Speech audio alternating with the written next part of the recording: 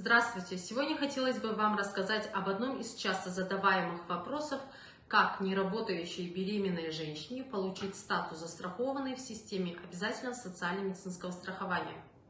При обращении неработающей беременной женщины, не имеющей статус застрахованной в системе обязательного социально-медицинского страхования, нужно а, обратиться к врачу общей практики или к акушерке.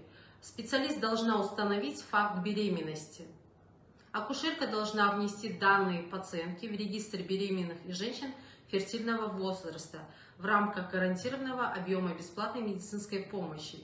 Если за женщину в течение двух месяцев а, перед обращением не было обязательных пенсионных выплат и социальных отчислений, то статус страхования присваивается автоматически в течение трех рабочих дней при условии правильного заполнения в регистр беременных и женщин фертильного возраста.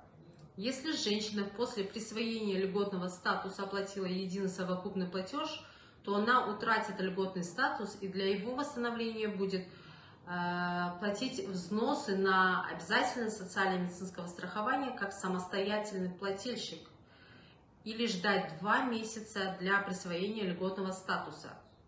В этом случае льготный статус системе обязательного социально-медицинского страхования присваивается автоматически по прошествии двух месяцев с момента уплаты обязательных пенсионных выплат и социальных отчислений.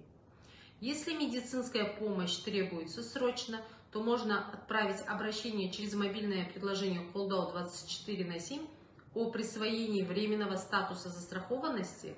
Временный статус присваивается один раз со сроком один месяц.